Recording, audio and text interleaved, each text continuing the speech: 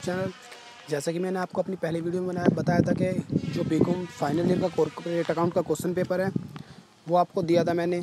आज की वीडियो में मैं आपके लिए लाया हूँ आईटी का क्वेश्चन पेपर वो भी बी कॉम थर्ड ईयर का, क्योंकि इस बार आपको पता ही है कि नेगेटिव मार्किंग आपकी हट चुकी है। मे भी अगले ईयर से आप दोबारा से अप्लाई हो जाए, ठीक है? तो आज मैं आपको बताऊँगा क्वेश्चन पेपर आपको किस टाइप के क्वेश्चन मिलेंगे, और जो मैं क्वेश्चन पेपर दिखाने वाला हूँ, ये भी अभी 2020 के एग्ज़ाम का ही है, ठीक है? तो आप इससे बहुत अच्छी तैयारी कर सकते हैं, आपके सौ क्वेश्चन रहेंगे, ठीक है?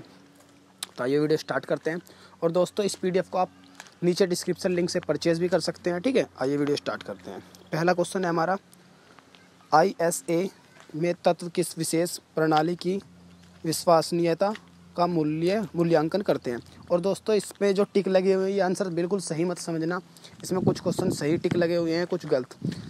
आप इन क्वेश्चन को मतलब ढूंढ सकते हैं मॉडल पेपर में। वहाँ से आप इनको तैयार कर सकते हैं, इनका सही आंसर ठीक है? और इंग्लिश और हिंदी दोनों में मिलेगा आपको ये पी ठीक है? सेकेंड क्वेश्चन है D Q B D Q D B में प्रयोग किया जाता है लैन आदमी मैन वैन ठीक है?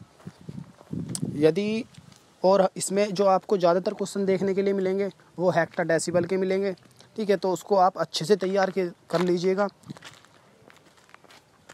जिस पे हेक्टर डेसिबल निकालना नहीं आता वो कमेंट करके बताए। उसके लिए हम अलग से वीडियो बना देंगे कि हेक्टर डेसिबल कैसे निकाला जाता है ठीक है? ये रहा कौन सा गलत विकल्प है?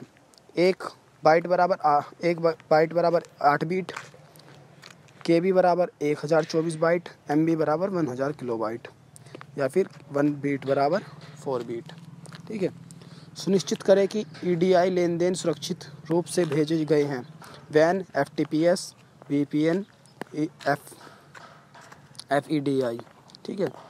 भारत में मुफ़्त ईमेल सेवा, हॉटमेल की शुरुआत, कृपाण भाटिलिया, ठीक है?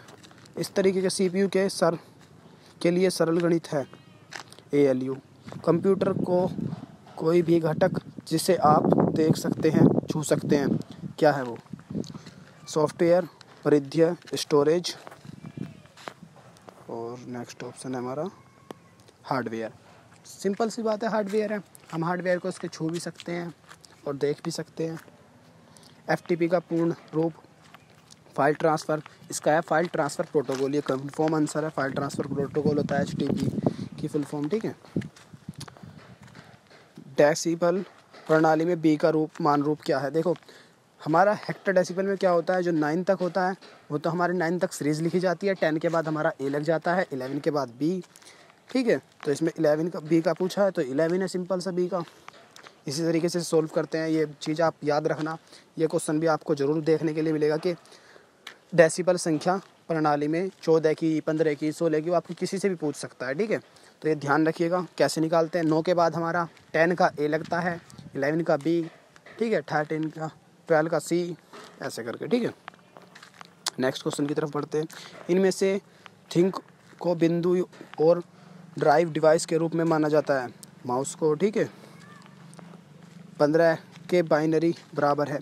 ये भी आपको सोल्व करने का होगा। ये भी इसी में भी कंफर्म नहीं है, ये क्वेश्चन पेपर सही है, नहीं है। क्योंकि ये मैंने Gyan Bharti institute of management study का क्वेश्चन पेपर है। जी यहाँ पर अभी प्री एग्ज़ाम हुए थे, वहाँ से ये क्वेश्चन पेपर आपका मंगवाया है, ठीक है? किसी बच्चे का पेपर है यहाँ पर तो इसको मैं आपने, उसने सोल्व करा हुआ था तो वो भेजा है, ठीक है? तो इसीलिए इसमें टिक गलत भी है। एम बी कमांड डोस की एम डी कमांड डोस की ठीक है? वन एम बी इसके बराबर होती है। ये तो सिंपल सा क्वेश्चन है, एक हज़ार चौबीस एक हज़ार गुना चौबीस बाइट ठीक है? नेक्स्ट की तरफ़ बढ़ते हैं। आ जाते हैं यहाँ पर। रोम में संग्रहित प्रोग्राम कहलाता है software I S O RAM में शामिल है, सात परते। वेब पेज देखने के लिए एक कार्यक्रम कहा जाता है। ब्रा, एक ब्राउज़र ठीक है? जो कि वेज ब्राउज़र नहीं है जो कि एक वेब ब्राउज़र नहीं है। सिंपल सी बात है Firefox fox pro Mozilla net स्किलबोर्ड Internet explorer भी ब्राउज़र है ठीक है? मोरजिला भी ब्राउज़र है नेट स्कैम्प नाविक भी ब्राउज़र है ठीक है? स्कर्टर चार्ट को निम्न रूप में से दर्शाया गया है। X Y chart telephone line का प्रयोग कंप्यूटर के साथ संचारण करने के लिए आवश्यक है। एक डिस्क रूप में मोडम की, ठीक है? टोपोलॉजी अगर एक कंप्यूटर नेटवर्क केबल टूट गया है तो पूरे नेटवर्क नीचे चला जाता है स्टार ठीक है? संचार में डब्ल्यू डब्ल्यू का अर्थ है वर्ल्ड वाइड वेब सिंपल सा क्वेश्चन है, ठीक है? मतलब आपका एग्ज़ाम इतना टिपिकल नहीं आएगा ये। इसी तरीके के आपको क्वेश्चन मिलेंगे तो आप इस पीडीएफ को पूरा परचेज कर सकते हैं। नीचे डिस्क्रिप्शन में लिंक है, हिंदी और इंग्लिश दोनों लैंग्वेज में है। और आपको अगर कोई सा और कोई सा भी पीडीएफ चाहिए, किसी भी सब्जेक्ट का चाहिए बीकॉम से, या बीएससी से रिलेटेड तो आप मुझे कमेंट कर सकते हैं, या फिर हमारे व्हाट्सएप ग्रुप को ज्वाइन कर सकते हैं, जिसकी लिंक भी नीचे डिस्क्रिप्शन में आपको मिल जाएगी। Thank you for watching keep supporting keep raving